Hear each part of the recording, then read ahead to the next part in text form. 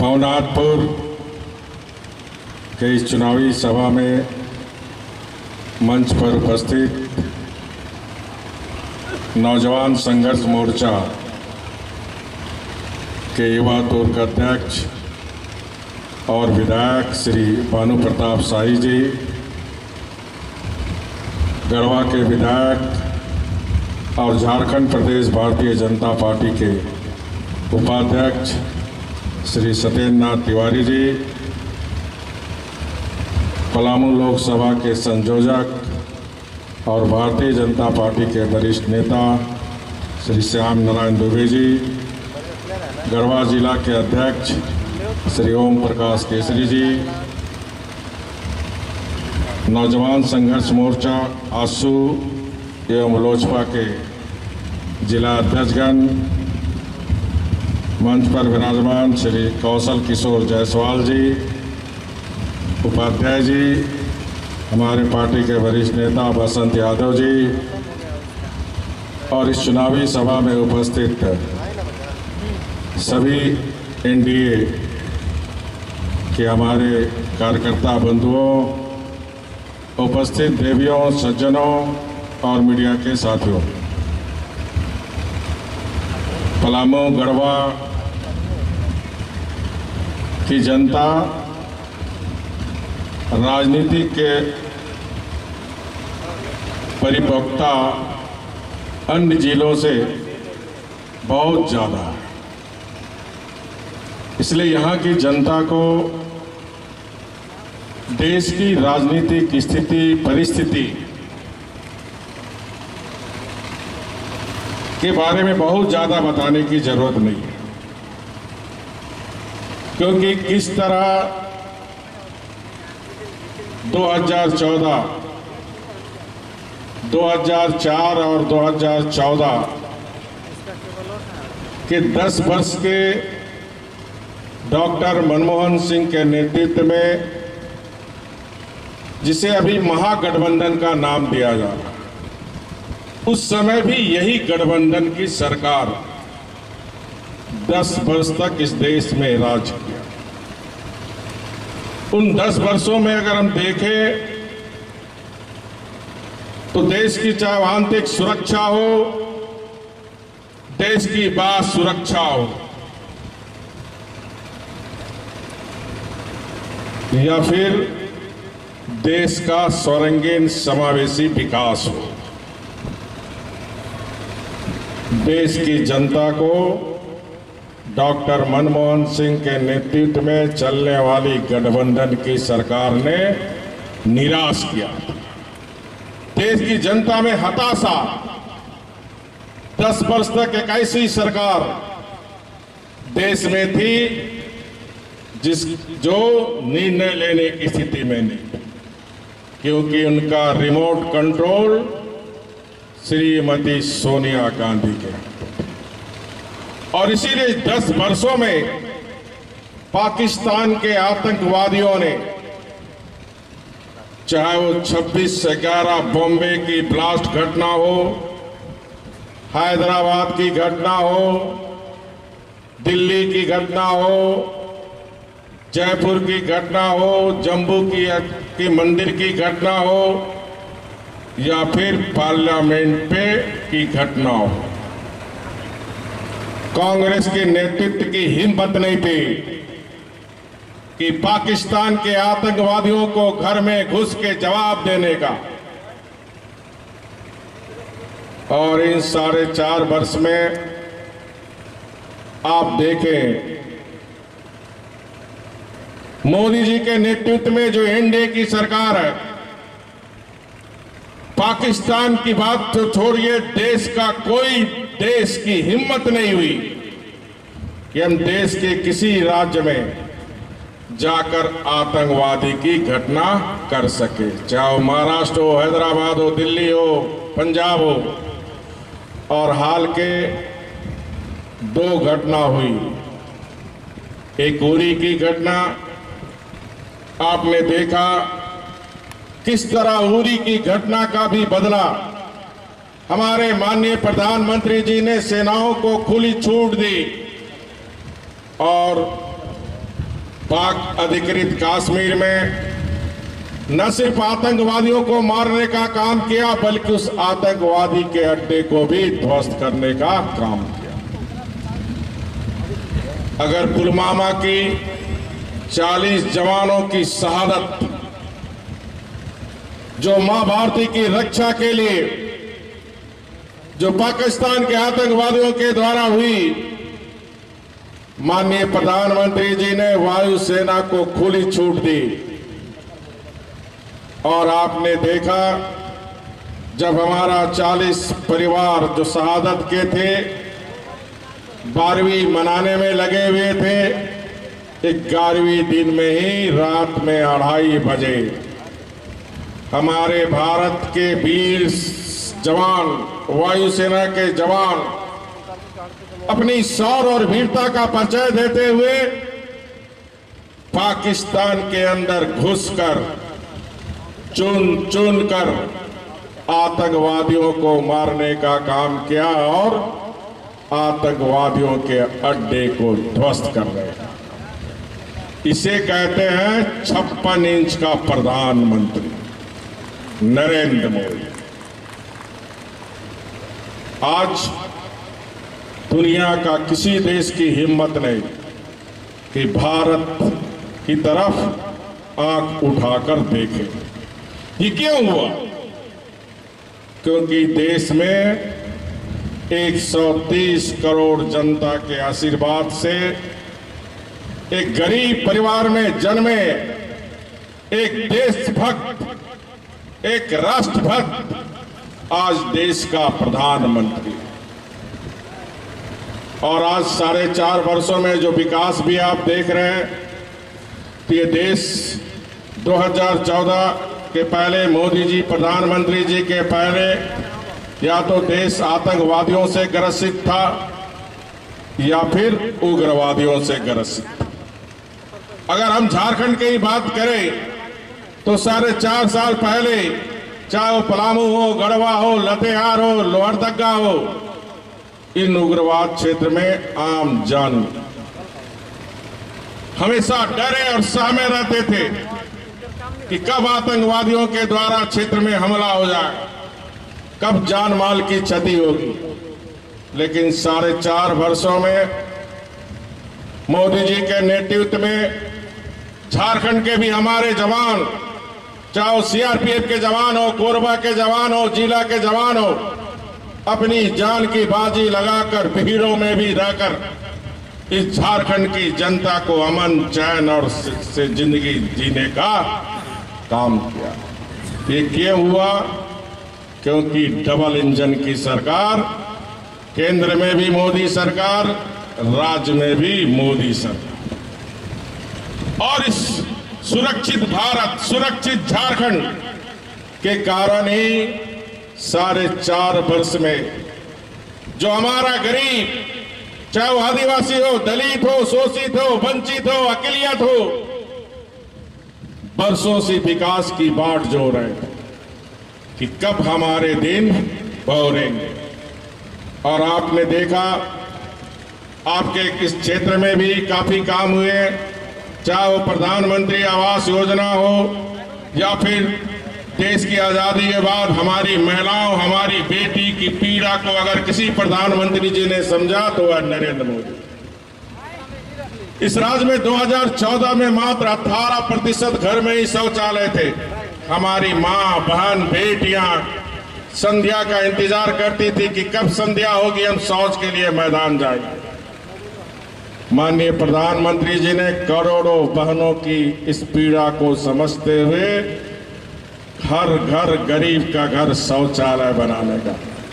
और इस तरह शौचालय बनाकर ये जो हमारी महिला शक्ति है उसकी सम्मान करना, उसकी सुरक्षा करना, ये हमारे माननीय प्रधानमंत्री जी ने की उसी तरह दुनिया का सबसे बड़ा आयुष्मान भारत, जहाँ झारखंड में हम अड़सठ लाख परिवार में राज्य सरकार के बजट से 400 करोड़ रुपया देकर संतावन लाख परिवार को पाँच लाख का गोल्डन कार्ड जो आप देख रहे हैं घर घर बट रही अब कोई गरीब को अगर कोई असाध्य बीमारी हो जाती है तो किसी बहन का गहना का बंधक रखना ना पड़े, किसी गरीब को, खेत को बंधक रखना ना पड़े।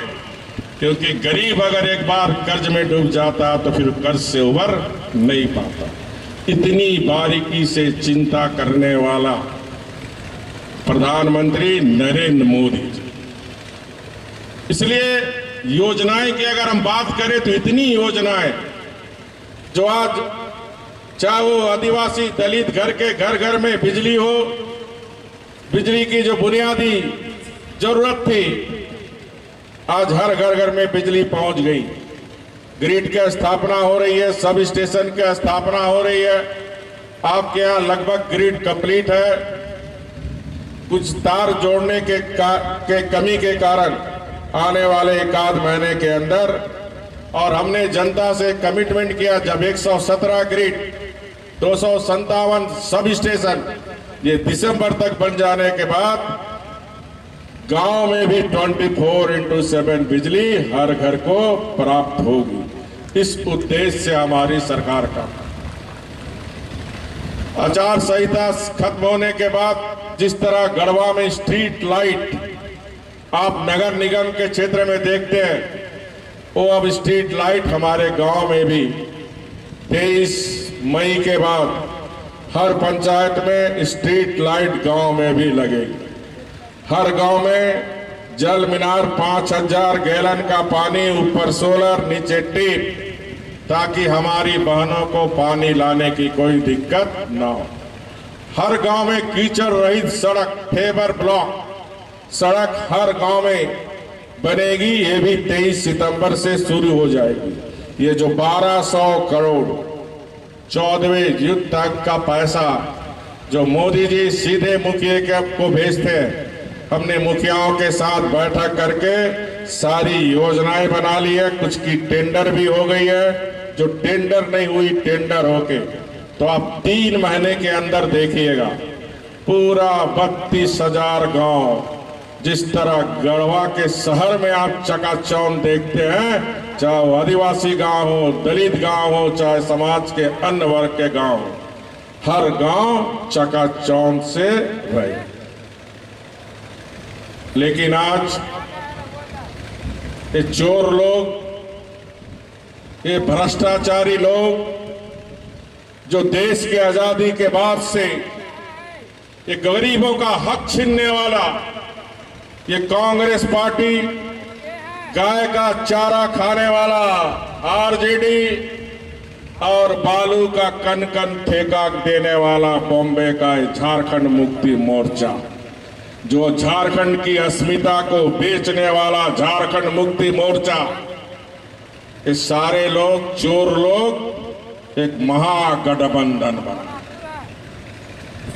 गठबंधन क्यों बना है?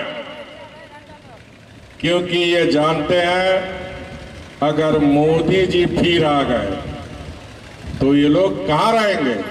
कोई तिहाड़ जेल में रहेगा, कोई होटवार जेल में रहेगा। और इसीलिए सारे चोर एक होकर एक ही नारा मोदी हटाओ।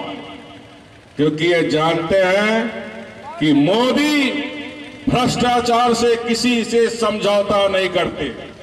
चाहे उसके सामने कितनो बड़ा हस्ती हो, और यही डर। आज सारे कांग्रेस, इतनी पुरानी कांग्रेस पार्टी, ये सारे चोर लोग एक होकर डर कर ये महागठबंधन बना है। आज ही झारखंड मुक्ति मोर्चा का एक विधायक, झारखंड आंदोलनकारी का हमारा के पुत्र पटेल, जो झारखंड मुक्ति मोर्चा के मांडू से विधायक है, आज सार्वजनिक रूप से प्रेस कॉन्फ्रेंस कर उन्होंने बयान दिया कि हमें गठबंधन ठगबंधन नहीं मानते हैं और देश के लिए मोदी जी को जिताना है।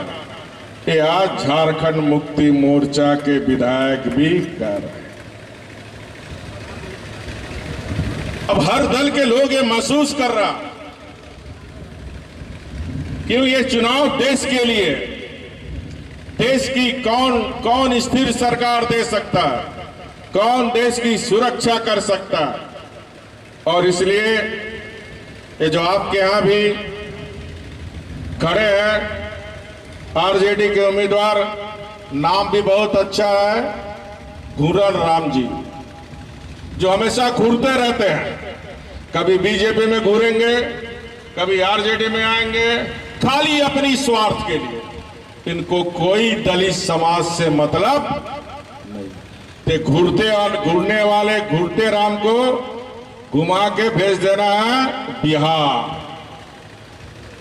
ऐसे लोगों की, जहाँ अभी हमारे बसंत यादव जी भाषण में बोल रहे थे, झारखंड में लालटेन बूझ चुका बुझ गया ना?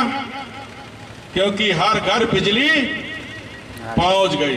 तो झारखंड में अब लालटेन युग की कोई ज़रूरत है? ज़रूरत है? तो जैसे भानु जी ने सबसे हाथ उठाया, समाज का हर वर्ग, ये आरजेडी कांग्रेस देश को पीछे ले जाना चाहता है, पलामू को पीछे ले जाना चाहता है, फिर से आपको लालटेन युग में ले जाना चाहता है। और मोदी जी देश को उजाला युग में ले जाना चाहता और उजाला में कोई भेदभाव नहीं चाहे मुसलमान हो, चाहे सिख हो, चाहे ईसाई हो, चाहे दलित हो, शोषित हो, वंचित हो, जो गरीब है, सबके साथ समान व्यवहार, सबका विकास और सबका साथ के साथ ये मोदी सरकार काम कर रही है। मैं आपसे इतना ही अपील करना चाहता हूँ कि आप सब में काफ़ी राजनीतिक जागरूकता है। ये चुनाव देश के लिए बहुत महत्वपूर्ण चुनाव ये देश कभी सोने का चिड़िया कहा कर जाता था हम सब विद्यार्थी जीवन से गुजरे हैं, इतिहास में हम पढ़े हैं, मुगलों के इतने लूटने के बाद भी आज में भारत में काफ़ी संसाधन लेकिन ये आज़ादी के बाद से ये जो कांग्रेस ने भी देश को काफ़ी लूटा, फिर भी देश में अभी काफ़ी संभावना है। इसलिए इस भारत को फिर से सोने की चिड़िया, इस भारत को फिर से विश्व गुरु और जिस तेज़ी से साढ़े चार वर्ष में नरेंद्र मोदी जी भारत का मान, स्वाभिमान दुनिया में फैलाने का काम किया और आज हमारे प्रधानमंत्री जी सिर्फ़ देश के नेता नहीं है, वैश्विक नेता। ये हमारे प्रधानमंत्री जी है। और ये बर्दाश्त, ये जो वंशवाद की राजनीति करने वाले, परिवारवाद की राजनीति करने वाले, जो भारत को एक जागीर समझता है, इनको बर्दाश्त नहीं हो रहा है। गरीब देश का प्रधानमंत्री बना। ये गांधी परिवार चाहता या इनका बेटा बेटी इस, इस देश का प्रधानमंत्री बने। तो क्या भारत को हमें जागीर बनने देना है गांधी परिवार का? देना है? कि इसलिए इसलिए चुनाव वंशवाद बनाम लोकतंत्र। जहाँ जूता सीने वाला मोची भी इस देश का प्रधानमंत्री मुख्यमंत्री बन सकता है। ये लोकतंत्र में हमें दिखाना ना कि सोनिया गांधी के बाद, राहुल गांधी राहुल गांधी के बाद, प्रियंका वाडी फिर प्रियंका वादी फिर उसका दामाद, फिर उसका बेटा और बेटी। उसी तरह लालू में देखिए, और ज़्यादा, बहुत ज़्यादा है। तो लालू जी, राबड़ी दे, तेजस्वी, मेजस्वी, और बिहार में आप लाल, हमारा यादव को देखिए। कोई परिवारवाद नहीं, कोई वंशवाद नहीं। भारतीय जनता पार्टी एक ऐसी पार्टी है, जहाँ एक चाय बेचने वाला भी और एक टाटा स्टील में मजदूरी करने वाला भी राज्य का मुख्यमंत्री बन सकता है। इसका नाम है भारतीय जनता पार्टी। इसलिए मैं आप सबसे अनुरोध करूँगा, जिस तरह 2014 में वंशवाद की राजनीति परिवारवाद की राजनीति को आप नकारते हुए, पहली बार एक मज़बूत सरकार नरेंद्र मोदी जी के नेतृत्व में आपने देने का काम किया था तो 2019 में ये फिर से देश की राजनीति से नकारे वाले, नकारे लोग जो आज देश में नकारात्मक राजनीति कर देश को पीछे ला जाना चाहते, वैसे लोग को फिर मुँह तोड़ जवाब, आपको 29 अप्रैल को जो हमारा एनडीए का प्रत्याशी है, श्री बी राम को कमल फूल पर बटन दबाकर जैसे पूर्व के वक्ताओं ने कहा कि अगले रिकॉर्ड को हमें तोड़ना। अच्छा खिलाड़ी वही होता है जो खुद का रिकॉर्ड को तोड़ता। तो आप सभी इस पलामू संसदीय क्षेत्र की जनता, कार्यकर्ता से मेरी अपील है एनडीए की कि पूरी ईमानदारी से ये कमल आप देख रहे हैं। कमल में कौन सवार होके आती है? सरस्वती। कौन सवार होके आती है? कमल में? सरस्वती। माँ लक्ष्मी। माँ लक्ष्मी। माँ लक्ष्मी कमल में आती। यानी कमल मतलब रोजी। कमल आएगी तो रोजी आएगी। कमल आएगी तो रोटी आएगी। कोमल आएगी तो नौजवान को रोज़गार मिलेगा। कमल आएगी तो हर घर में समृद्धि आएगी। कमल आएगी तो हमारा राज्य समृद्धशाली होगा। कमल आएगा तो हमारी देश समृद्धशाली होगा। और जिस तरह नरेंद्र मोदी जी के नेतृत्व में साढ़े चार साल के अंदर देश का तेज़ी से अर्थव्यवस्था उभरने वाला अमेरिका और चाइना के बाद भारत तीसरा देश किस मुकाम तक पहुँच रहा है तो हमें इस देश को समृद्धशाली बनाने के लिए एनडीए के प्रत्याशी को कमल फूल पर बटन दबाकर जहाँ जितने भी उम्मीदवार खड़े सबका जमानत जब लालटेन बुझाकर रिकॉर्ड मतदान से। आप मतदान करें 29 अप्रैल को। गर्मी का सीज़न है, सुबह सुबह। साढ़े छह बजे नहा धो के पहले मतदान, उसके बाद जलपान। ये काम करने के अनुरोध के साथ अपनी वाणी को समाप्त करता हूँ। बहुत बहुत धन्यवाद। बहुत बहुत धन्यवाद सर। अब मैं धन्यवाद ज्ञापन करने के लिए भवनाथपुर के मंडल अध्यक्ष श्री संजय यादव जी से आग्रह करते हैं। आज इस सभा में उपस्थित भारतीय जनता पार्टी और झारखंड प्रदेश के यशस्वी मुख्यमंत्री माननीय रघुवर प्रसाद रघुवर दास जी यहाँ के विधायक भानु प्रताप शाही जी गढ़वा विधायक सत्येंद्र तिवारी जी हमारे जिला अध्यक्ष ओम प्रकाश केसरी जी और बसंत यादव जी, प्रदीप चौबे जी, उपस्थित मंच मीडिया के लोग और माननीय मुख्यमंत्री जी, मैं आप सबों को आश्वस्त करता हूँ कि यहाँ रिकार्ड मत से हम सब विजय होंगे और आप लोग इस धूप में आए, इसलिए आप सबका हार्दिक अभिनंदन और धन्यवाद ज्ञापन करता हूँ। धन्यवाद।